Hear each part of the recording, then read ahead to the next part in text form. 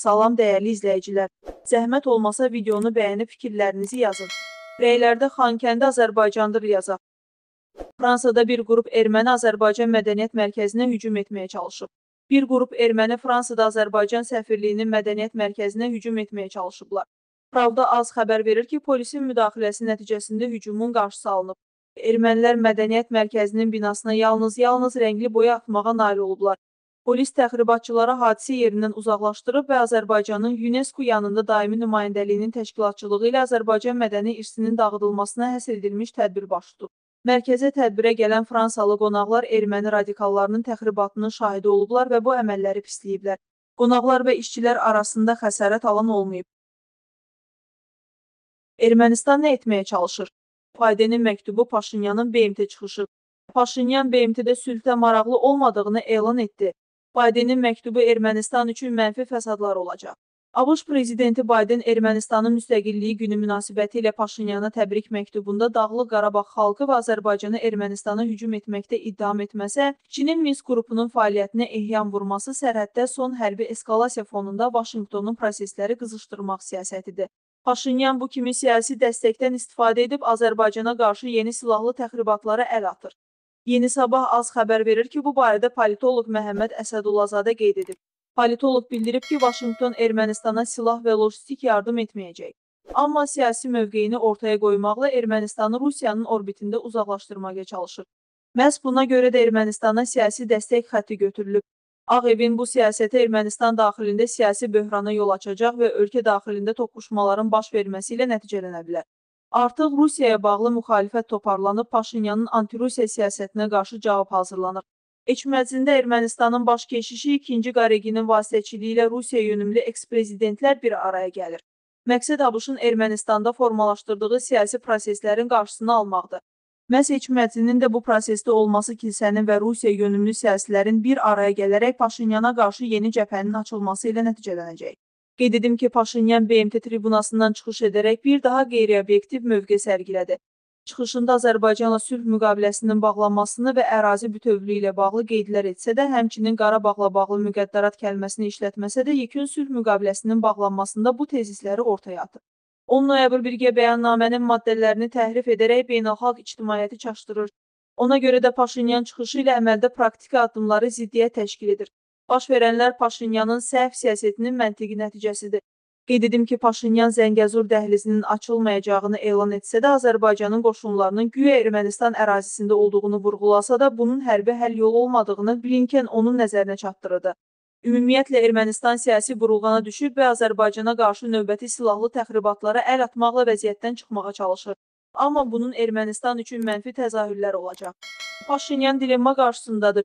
Ya sülh müqaviləsinə imza atıb Azərbaycanla münasibətləri normallaşdırıb, regionda iqtisadi inteqrasiyada iştirak edəcək, ya da daha məğlub olub öz hakimiyyətini itirəcək Əsədullazadə şərhini yekunlaşdırıb. Növbəti müharibə Qarabağda deyil, Zəngəzurda olacaq Sabiq Xarici İşlər Nazirliyi rəhbəri. Yeni Sabah az Azərbaycanın Sabiq Xarici İşlər Naziri politoloq Tofiq Zülfüqarov ilə müsahibəni təqdim edir. Tofiq müəllim ABŞ prezidenti Jozef Baydenin Ermənistanın müstəqillik günü ilə bağlı təbrik məktubunda separatçılarla bağlı fikirlərə yer verməsi nədən qayaqlanırdı? Burada bir daha aydın olur ki, Ermənistan-Azərbaycan münaqişəsi bizim regionu idarə etmək üçün fövqəl dövlətlər tərəfindən yaradılıb və istifadə edilib. Ona görə də Rusiyanın da bu bölgəyə aid siyasəti bir mənalı deyil. Aydın görünən odur ki, 2-ci Qarabağ müharibəsindən sonraki vəziyyəti nəzərə alaraq burada sülh məramlıların zonasından istifadə cəhdləri də var. Fakt odur ki, mümkün qədər Azərbaycanın bölgəyə inteqrasiyasına mane olmaq cəhdləri açıq görünür. Eyni zamanda bu cür yanaşma qərbdən də mövcuddur. Yəni orada olan bu və ya digər separatçı qurumları qərb və ABŞ-da öz məqsədləri üçün istifadə etməyə çalışır. Buna aid bəyanatları biz eşidirik. Təbii ki, Baydenin xəbəri yoxdur ki, bu ərazidə kimlər yaşayır. Onlar dırnaqarası xalqdır yoxsa kimdir? Bunu təbii ki, ABŞ prezidenti bilmir. Belə olan halda bu cür mətnlərin ortaya çıxması necə baş verir? Söhbət burada təbii ki, bu cür mətnləri hazırlayıb Baydenə təqdim edən diplomatdan gedə bilər. Onlar da orada sadəcə olaraq öz istəyini nümayiş etdirirlər. Burada sadəcə 90-cı illərdən yaranmış bu məsələnin heç kimə bəlli olmayan xalqın hüquqları barədə mövzuları davam etdirmək niyyəti var. Bu cür halların çoxalması nəyə hesablanır? Biz də başa düşməliyik, onların sonuncu hadisələrə münasibəti çox kəskindir. Ona görə də haray həşir salıblar. İddia edirlər ki, güya Ermənistan işğal edilir. Eyni zamanda ərazi bütövlüyü tanınmır, sərhədlər pozulur kimi absurd bəyanatlar eşidilir. Amma onlar əslində burada nə baş verdiyini onlar yaxşı başa düşürlər. İndi Azərbaycan onlara elə bir strategiya nümayiş etdirir ki, bununla razılaşmaqdan başqa seçimləri qalmır. Əgər Azərbaycan ərazisini münaqişə mövzusu kimi qələmə vermək niyyəti varsa, biz də Ermənistanın bir hissəsini həmin tələblərlə təqdim edə bilərik. Bəs ABŞ-ın bu məsələdə son dərəcədə narahatlığı nəyə görədir? Sadəcə olaraq onların uzun illər bizə qarşı istifadə etdiyi ssenari indi pozulur. Məhz ona görə də çox narahatdırlar. Çalışırlar ki, proseslərin qarşısını mümkün qədər alsınlar.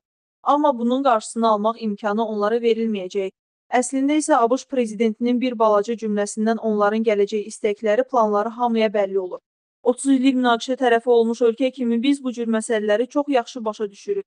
Sizcə Ermənistanın son təxribatlarından sonra sülh üçün ümidlər qalırmı?